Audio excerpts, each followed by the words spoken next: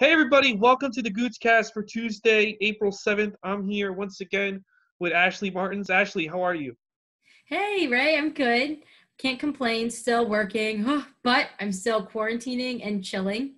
This is my Okay. highlight of the week, so I'm happy to be Oh, here. good. Yeah, I'm still quarantining and chilling. I was watching wrestling all week, but uh we're gonna we usually do this on Wednesday, but tomorrow I'm gonna have a special guest on the Gootscast. So I figured we do this today. Um, since we were gonna do two episodes, but so let's just do it as one episode. So yeah, are you excited? Woo, I am super excited, especially this week too. Newsflash, I like this episode way better than Riverdale or Vampire Diaries. Okay, cool. So the show we're going to talk about today is Ozark. Um, yeah, I, I just started it. I'm a couple episodes in. You watched the first episode, I watched actually- the first episode, yeah, just the first episode, right? Just the first one. Okay, what did you think? I actually really liked it. It Yeah, I didn't. So I went into this like not knowing at all what it was about. I just knew that my one friend who studied film in college is watching it, and I'm like, oh, okay, well, if she's watching it, then like it has to be good. hmm Um, and yeah, I really liked it. I definitely was more serious. I guess I didn't know what I was thinking. Like, it definitely is not a comedy, no, but.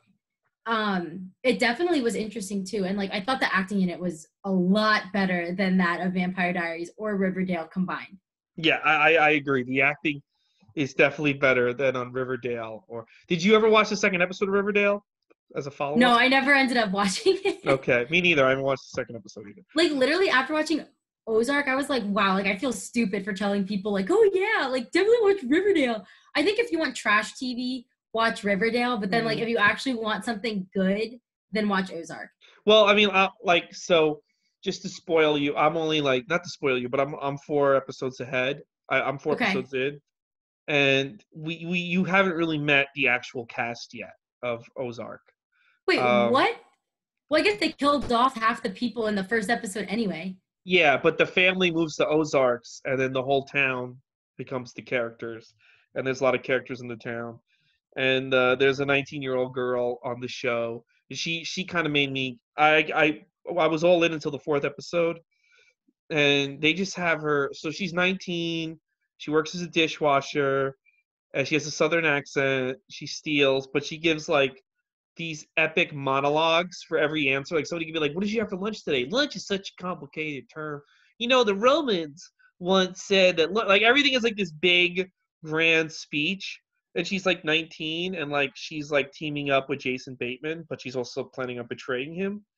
And it Oh. it just to me it was like the character was just so over the top ridiculous that I was like I can't. I, I kind of lost interest. But the first episode is very good. Yeah, I really liked it. And like Jason Bateman too, like I'm really I mean, I've seen him in like some movies too, but I like originally I guess was introduced to him when I was watching Anger Management or I'm sorry, Arrested Development. The development, And- yeah. Arrested Development is a comedy, and I'm looking at this and I'm like, okay, like when am I when is he gonna crack a joke? And he hasn't done that. So like it's cool to see him in a completely different kind of role with Yeah. Ozark. So Yeah, the thing the thing about about this role is that um the my thing about him he's been in so many comedies, it's kind of hard to take him seriously. Like like this is a very serious show, but you Mhm. keep waiting for you keep waiting for it to get goofy cuz he's goofy. So when he's there like I like I thought my favorite my favorite moment of the show is when he the bad guy is like tells the story like my my father these women were stealing from my father. What should I do? Oh yeah, I- and I was like, is this a trick question? I don't Yeah. know what he's going for. And Jason Bateman basically called him on it. Like he was like, "Dude, like this is like, what are you doing? Like we, I know what you're doing. You know what I mean?" And then he Mhm. just shot the wife of uh, his partner, and then shot everybody else. Um, I am interested to see if um, how long. It's 30 episodes right now on Netflix. The show's not over, but I am interested to see how far he gets with this scheme in the Ozarks. Yeah, I'm curious too. And then like I I mean, so by the time the pilot ended, it was like them like kind of leading. So like yeah, and so I don't even know like what the Ozarks are, but like they made it seem like it was this like really lit place. And then I googled pictures of it and I'm like, this looks like a sleepy town Yeah, that's And, what like, it is. by the Great Lakes. But um but yeah, I'm like interested to see if he's gonna be able to like like is the whole show just him getting the money for It's it's him. It's him. It's him tra- plotting the plotting his. It's him plotting in the Ozarks, and the town people keep getting in the way. He keeps underestimating them, and they're smarter than he thinks. So Oh, like I see. Yeah, they, they so like the town's very shitty, and he has to like basically get five hundred million dollar or whatever insane amount he told this guy. And so far, it's it's it's four episodes in. He has done very little, but like the the characters are getting like mixed up with the town, like the daughter and this one guy. They like have a love hate relationship, and the wife goes to work at a real estate office, and he buys a bar, but he gets involved with this 19 year old girl at the bar. It's kind of like he, they're not fucking, but Wait, that's like what? Not, Well, I he's guess not like his. he's not involved. That's like his partner. It's weird. I don't know. It's it's like. Okay. Did you see Breaking Bad? Mm-mm. I was told the show was very comparable to Breaking Bad, though. It is. It feels like it almost sometimes feels like a ripoff because in Breaking Bad, he he has a male student and in one of his he's a teacher who becomes a drug dealer and one of his students is um works with him for most of the Mhm. series. Like that's it. And I feel like this little girl is like the female version of that on this show where she's like gonna I work see. with him. But it's like weirder because like she's just some random girl in the Ozarks that she. But she finds out he has the all this cash, so she's like tails him, and he decides to put her to work so that she can't rat on him and stuff. But then they start plotting. I see. together. We'll see. I don't know. I don't know how it ends up. Interesting. She's that girl. Like I, I got spoiled. This is not a spoiler, but that girl is still on the show in season three. I guess now she's 21, but the character. Okay. I don't know. Yeah. I didn't even realize this was like that big of a show, and then I see it like pop up all the time as like the top like Mhm. ten in the U.S. or something. What was your favorite scene on the show in the first episode? Ooh, I don't know. Like, well, first of all, I didn't. It was kind of cringy seeing like the wife with her like love partner. And he's super old. Yeah. And like I guess like okay, this might sound like kind of weird, I guess, but like my favorite scene in the show, well, I guess I have a couple. So like I think that like them like the whole like battle, see, not battle. It's like them shooting the people stuff. I Oh, think like executing the people. Yeah, I think like that was really realistic and like very like it made me feel unsettled when they were even putting the bodies in like the tanks of acid or whatever. So Mhm. like I think like that was one of my favorites just because like I was like, whoa, like you did a great job of making me feel unsettled and like kudos to you guys. However, funny part though, I mean, but this was kind of sad when he was in the car like jerking off. I thought it was hilarious when like you thought like, oh my gosh, like he actually hired a hooker Mhm. and then the person like I think his coworker or whatever like knocked on the window was like, hey, like you can't do that in oh, this the uh, parking the lot. hooker, the real hooker was like, "Yeah, get out." Yeah. Yeah, yeah, yeah. I so I was like, was- oh my god. But that was kind of funny. But yeah, so I guess like that was my funny scene that I liked, and then like that my unsettled scene was like the people getting their brains blown out. Yeah, that was intense. So you would uh you would keep watching. Are you gonna keep watching? I think I want to. So like I'm actually like I'm like in between shows right now. Um so I'm trying to figure out a new show to watch and I actually really like this one. Okay, cool. So- So Ozark gets a thumbs up from Ashley. That's awesome. Yeah, would Uh, definitely binge it. Yeah, so binge it. So I almost want to change the name of it to binge or purge. So you would definitely because I like that. Uh, but you would definitely go with binge, right? I would definitely go with binge. Listen, it is on the top charts of Netflix for a reason. And yeah, definitely watch it. Okay.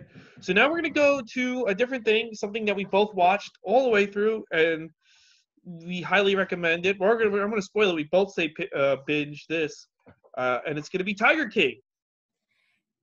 Tiger King opened my eyes to a community of people that I never thought ever walked this earth. These people are actually insane. Yeah. And once again, like I had no idea there was like a group like this, but it's a cult of people that hoard these big cats and yeah, it's just ridiculous. And then like it's weird to me that they like put it together in zoos but it's Mhm. like their zoos, their backyard, and then like they're all like into polyamorous relationships, which like you know, fine, whatever, you do you. But it's just interesting that they all have that same quality about them. Uh, I I watched this whole show in one day. I, I heard everybody talking about on on on Facebook and Twitter. and I'm like, all right, let me see what it's all about. And I watched like one episode, and then I watched the second episode, and then we, I got to the twist in the third, at the start of the third, that she killed the husband, Mhm. Carole Baskin. And then I watched, and then like the first episodes, I was like, all right, this is cool, but I'm gonna like do other stuff around the house. And then once I got to the third episode, I was like, you know what, fuck it, I'm all in. Fuck doing, th- dude, fuck doing anything else today. And I watched, um, I watched them all in one in one day. How fast did it take you to watch the whole thing? It was pretty quick for me. Like it, well, considering I don't watch like a bunch of TV, like I can't like binge watch shows for whatever reason, but like it took me in total, I'd say like three, four days, which like is very quick for me to watch a show. Oh wow, three four days. Okay. So, yeah, Okay. I see. I That's an did all in Ashley- that's an Ashley Martin's binging, but I know I'm not like everybody else. I know other people binge a lot quicker. Yeah, I just I had- I mean, there's nothing else to do right now, so I was like, I'm gonna watch the whole fucking thing. Uh, what was your favorite episode? Ah, all of them. Um, Mhm. I'm trying to think. The one where like she killed, like Carole Baskin killed her husband was very interesting. And I was like, this is absolutely ridiculous. Like kind of like you said, like that was one episode where granted, like I think I was kind of hooked from the beginning, but like if I wasn't hooked before, like I was for sure like all in after it was like Carole Baskin killed her husband. So great placement on the documentary uh producer's part, I think, of putting it as third and not saving that towards the end because I feel like that was something that should have been like discussed in the beginning or more Yeah. towards the beginning. Yeah, no, I thought that was my favorite episode. You can almost watch that episode as a mini documentary. You don't need to watch anything else before or after. You can just watch that episode alone, and I really, really liked it. And and then at the end of the episode, where the they I, I don't know if you remember, they ended it with the family of the husband who was murdered being like, uh, "We're scared of Carole Baskin," and then it cuts to the Tiger King being like, "I'm gonna kill me some guy like fuck Carole Baskin." and you're like, all right, and then you're all in because you're like, oh shit, this guy's this guy's going for her, but she Right. is uh, she is a motherfucker. She is not a nice woman.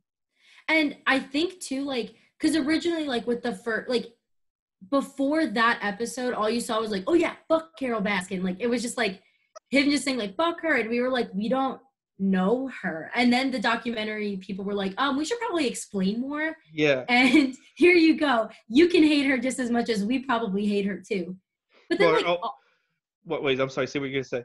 Oh no, I was just like, but all these people, like, not just her, are absolute scumbags, like the scum of the earth, I think. But Yeah, the one guy I liked was the guy with no legs. I felt bad for him because I feel like he actually really liked Mhm. the animals.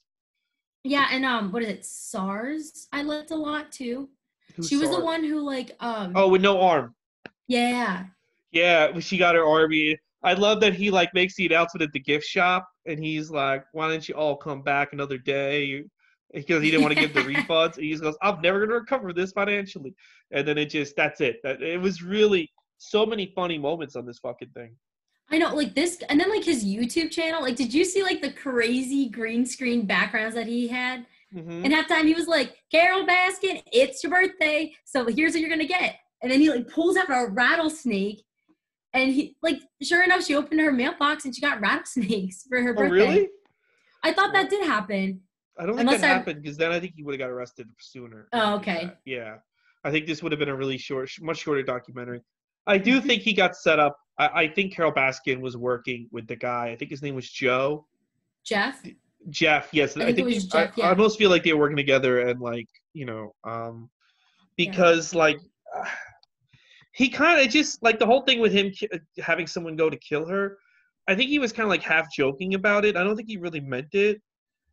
Right. And like like think about it. For years, he had been saying on YouTube and to Mhm. people like that he worked with, like, fuck Carole Baskin, like if I don't kill her, someone like whatever. Like he was making all these comments about killing her in the first place. And it's like, okay, if you're gonna be saying about that about someone for years, wouldn't you have just done it already?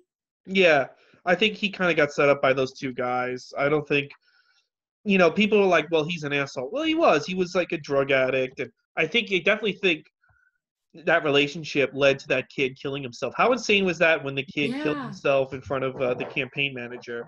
That was nuts. Yeah, nuts. And then like what's crazy to me too is like he took men who were heterosexual and were like, I can give you drugs and tiger cubs. And these guys were like, okay. yeah. I don't know how. went for it. I, I don't I couldn't I can't convince I mean I don't do drugs but I can't convince women to just I don't know like I couldn't convince a lesbian to be my like love slave at my house. At least Right, I've like, never I- tried, but I think Maybe I you could. need. You mean you can't persuade them with your dogs and cats? I have dogs and cats. Doesn't work as well. By the way, a tiger is cheaper than Matilda. Matilda cost me like uh, twenty three hundred. A tiger was only two grand. Remember he said that? What? Yeah, What? You could have literally had a tiger this entire time. yeah, yeah. But Matilda's like a tiger. But like, do- like true. puppies are not cheap, uh, especially like, you know, the br- the br- the breed I got. You know, Matilda's a good looking dog. Say what you will. You're ugly. Say what you will. She's just looking at me now. Say what you will about like whatever, but like she's a good looking Boston Terrier. You know what I mean? Right. those cost a lot of money. Um, I didn't realize tigers though are cheaper than fucking puppies. That's insane. I didn't. Excuse me. I didn't realize that either, and I didn't realize like even at the end when they had um like all those statistics where it's like this many what is it like five thousand or some ridiculous number of like tigers live in captivity or something and. I'm like, how the hell are that many tigers being passed around? Where are you keeping them? They're not small. I know. Like I don't. Like I always thought they were like super dangerous. Are they not that dangerous? How, like how the fuck are people just living with these tigers? They have to be. Saff got her arm bit off. Yeah, I I, I don't understand. I don't understand why you would want. I just don't. I don't know. But and they're it was expensive to maintain too. Like they eat meat. they eat a lot. Well, they were giving them the expired meat off Walmart, which probably uh, which Which probably good. Yeah, I also think the other reason why I think Carole and Jeff working together is she Carole's not going after Jeff's uh, zoo, although Jeff's zoo isn't really technically open yet. I don't think it'll ever open. I think Jeff's Is that the- artist. Oh yeah. Remember, he's going to open up a new zoo in Texas. or Right. Well, then also, can we please discuss the other guy who, what is it? He had like the long ponytail. No one seemed to touch him. Nobody cared about him, but he's equally as bad. Oh, the guy with the with the harem of women, and he's making them eat roach roach sandwiches. Yes, Okay, and yeah, literally keeping them as slaves, like getting virgins, keeping them on, keeping them on his farm or zoo. and they work. whatever. They work seven days a week. It's ridiculous. The way, his his uh tiger thing is open Yeah. even during the corona. He's they're working, they're open and working right now. Yeah. Somehow they got Florida's a very weird state. The WWE is still wrestling in in Florida. E- They, they, branded WWE as essential workers. I guess he got it branded an essential worker. I don't understand. I think yeah, I think a lot of these people just like throw the Florida government money. Florida's a weird state. I don't get how Tiger Park and the WWE are essential workers. I don't. Know. So wait, that. is Carole Baskin still open? I know she for no, sure she closed her place for. Corona. I looked her. I looked up her um, Instagram and stuff, and she she. Wow, she- what a lovely woman. what a love, what a love. That oh, she how love- obnoxious too was the husband. Oh, Oh, well, wait, I saw this meme and it was like for sure Carole Baskin's husband has sex with his socks on. For Yes. sure. There's no doubt about it. yeah, and uh, that that wedding photo where he's dressed like a he's dressed like her caveman slave or whatever. That was oh my god. And then at the end when he was literally singing to her, yeah, I'm like, please, no one ever What sing to me like that. he's a real. I, I've never used the term cuck, but that is a cuck. Carole Baskin's husband. I mm. and then all her, hey all you cool cats and kittens. I'm like, congratulations, Carole Baskin. You have become one of Instagram's top um or Instagram or whatever top captions.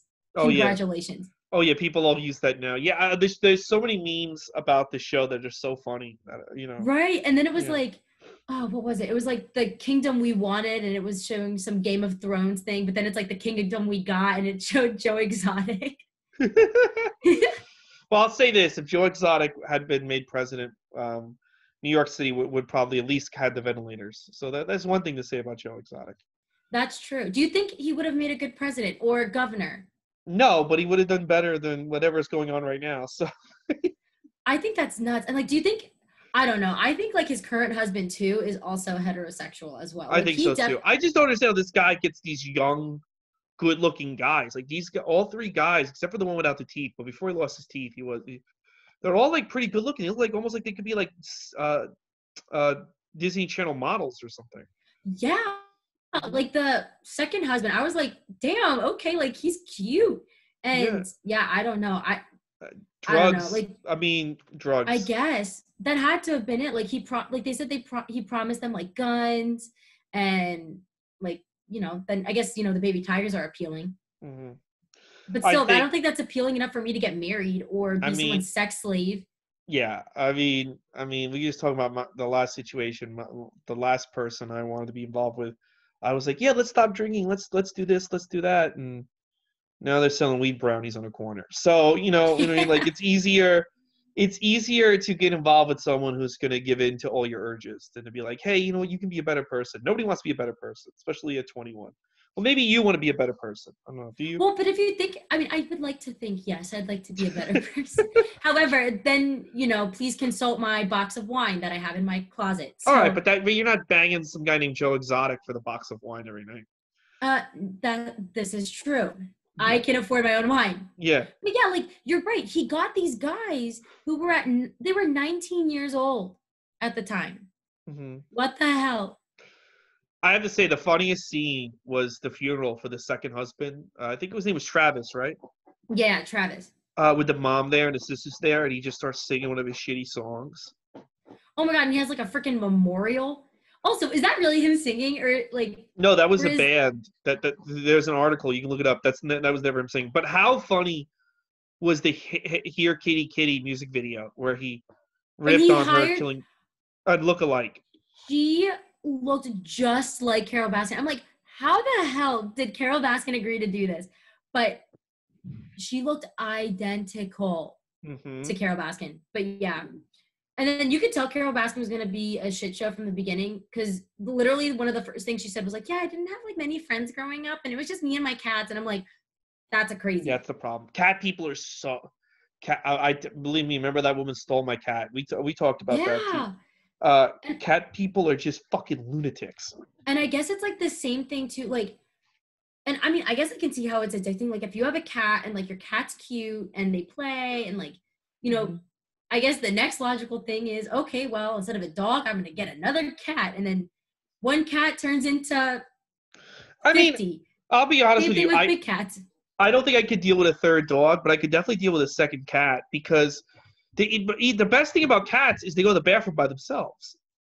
Right. don't and they have clean to- themselves. They clean themselves. You don't have to really do anything. And if the cat loves you, like my cat likes me now, the cat just comes by and, the cat's right behind me. I don't know if you can see. See the Mhm, cat yeah. right there. The Yeah. cat when the cat loves you, the cat just has your back, and you have to do a lot. Um, whereas a dog, you have to constantly take care of the dog. Like they both, especially Matilda. Matilda's a lot of work. You know, it's like a full time job. A cat's not. So I can see like why you would want to get like three or four cats because it's just like they do everything themselves. It's like having these little. But at the same time, cat people are very obnoxious, and they should be murdered. So anyway, and it's almost like you know, like you have like regular cat people, and they're just like their own level of yeah, like and regular you have cat like people. but then you have like the big cat people and Mhm. like that's like uh, like infinite levels higher of like craziness It's so that. funny. Peanut is looking at, at, at, at you right now, being like, "What the fuck you talking about cat people for?" Like, you take that back oh, all right. So I've got to do a Zoom birthday party in I think an hour. So I'm going to get this ready and put up. So we're gonna we're gonna cut the episode here. But actually, what do you? Well, yeah. Well, no, not even pregame. I just want to put everything up so I can like sit.